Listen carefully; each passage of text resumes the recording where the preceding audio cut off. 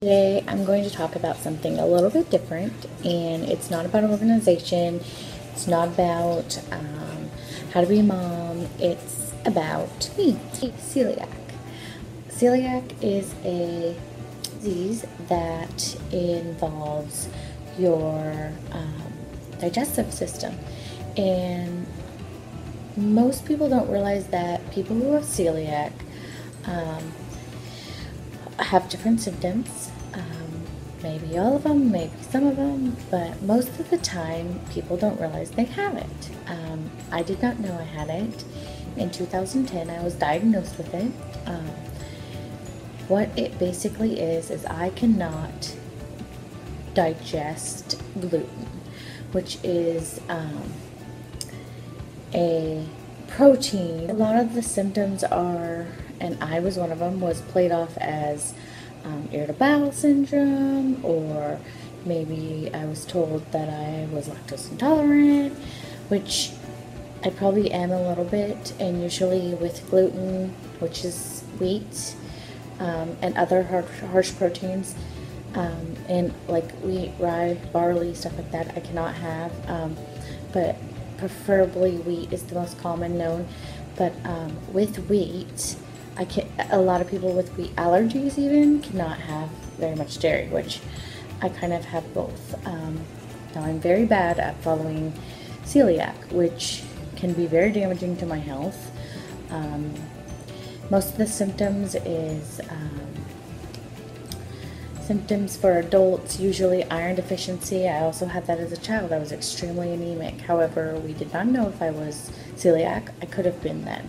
Um, I was so iron deficient. I was on um, liver and onions three times a day and iron pills, along with a laxative because you can get um, extremely blocked up from it. Um, you can have joint pain, bone, bones pain, which as a child I was diagnosed with rheumatoid, juvenile rheumatoid arthritis. Um, I don't have rheumatoid arthritis today that I am aware of, but um, these are things that could have led up to um, finding out if celiac was um, more aware of back then. Um, um you can get um, a lot of erratic menstrual periods, which a lot of people don't like to hear about, and rashes, and I've had a lot of that. You can have diarrhea, you can have constipation, infertility, miscarriages Anemia is very big, depression, um, weight loss, weight gain, abdominal pain, bloating, gas. Um, these are just some of the um, things you can have growth problems, either delay of puberty or early puberty. Now, I was one of the early ones. We don't know since I wasn't diagnosed as a child if that led to, was a sign of celiac. However, um, in 2010, I was diagnosed with it. I had excruciating pain. They tested me for irritable bowel syndrome. That's what they ruled it as. And they tested me for um, gallbladder issues because I was 29 at the time. Um, and still, I had these pain. I had a friend who, God bless her, um, my friend Andrea had mentioned she has been diagnosed with celiac. And she had told me to try this out for a week. So I tried it out for a week where I didn't eat anything with gluten. Very hard um, for someone not knowing what is gluten free, except for obviously Whole Foods. And I was not on a very good diet back then, and so it was very hard for me to transfer. Um, irritability and depression I was having. Um, so anyhow, I started that for a week, and I did not have that stabbing pain. I did not have bloating and gassing.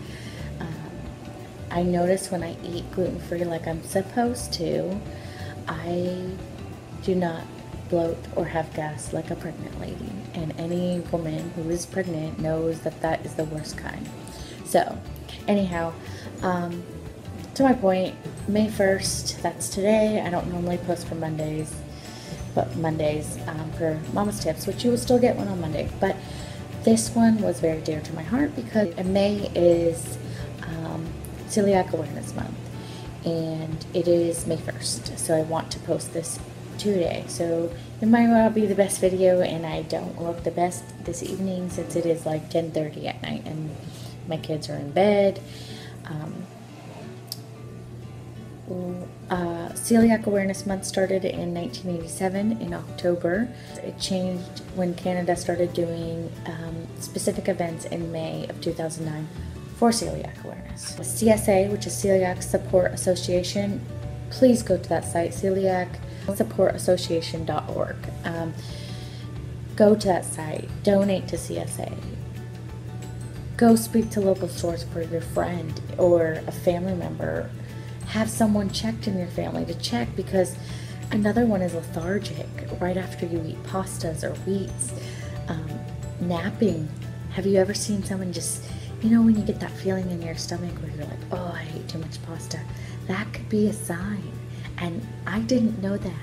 I used to nap after I eat spaghetti, but now I eat gluten free and it doesn't affect me and I don't get heavy and tired. Um, I know I've been to a few stores. I won't name them, but one of them's a big major chain, um, and they don't store their products properly of gluten-free products. And I have said something numerous times to the management, and for some reason, it is always blended in or mixed in.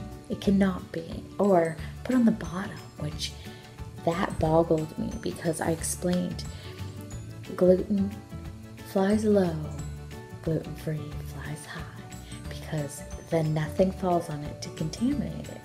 Now, once at the store, I had gotten a package of penne noodles, um, which are gluten free. The package was opened and I had a little slit in it, and it was not a big deal. It didn't affect me. I didn't notice it until after I cut the top and saw, and it could happen at the store, it could have happened um, in my travels from home to the house. However, it could have had contamination that affected me. Now, some people don't realize there's really gluten sensitive celiac or just gluten sensitivity um, or just wheat allergy. Um, some people are really sensitive. Then places like Domino's are doing gluten free. However, they're still processing and using the same um, stuff that they use the gluten free. So you're kind of taking a chance there. Um, Mellow Mushroom has gluten free. However, I don't know how they do their utensils in the back either. So you're really taking a chance there. Um, somebody who's really sensitive can't use the shampoos, can't use makeup um, that isn't gluten free, which there are some great ones out there. If you want to know, comment below and I will tell you some amazing um, makeup shampoos, um, vitamins, proteins. Um, Vitacost is a good one to check too. Um, there's a lot of things that some people cannot have. I am not that sensitive, or I've just gotten used to not being that sensitive. I'm not sure. Um, but if you want to know more about celiac, please check out that site, research it. If you have a friend, now I am not a doctor, I am just speaking from my own personal experience. If you have a friend or family member who is gluten sensitive or has celiac, please be understanding. It is so hard to switch to that when you see someone eating a donut and you don't have a gluten-free donut for them or a sandwich and you don't have gluten-free bread for them. It just simple things that you don't even think about. Um, pies at Thanksgiving, just those sort of things. Um, they are coming out with more of those things for people. I wish they would make it cheaper or tax-free. One of the two because it is not a lifestyle for some of us, it is a life change.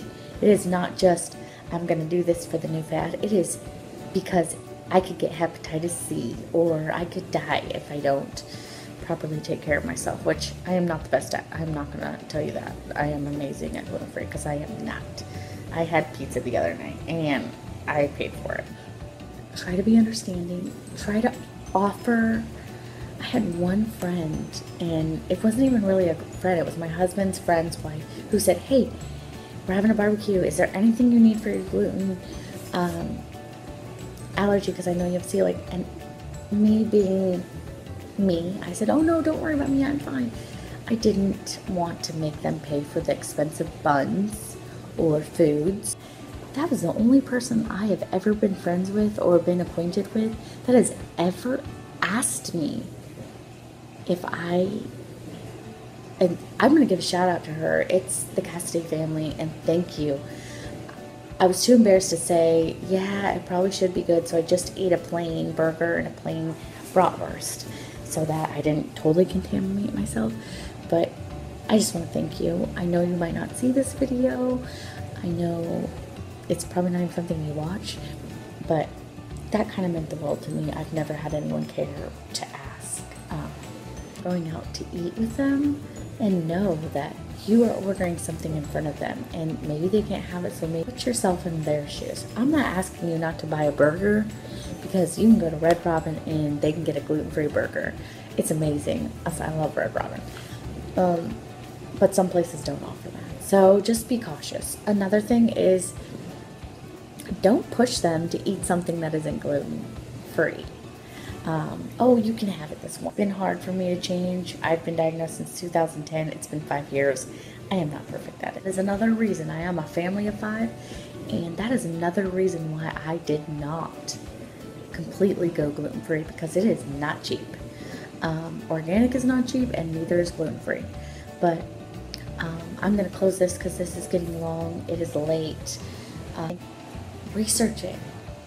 Donate, please to anything to help us. Um, and thank you for watching this video. I'm sorry it was long. This was just something I felt was on my heart that I wanted you guys to know about me.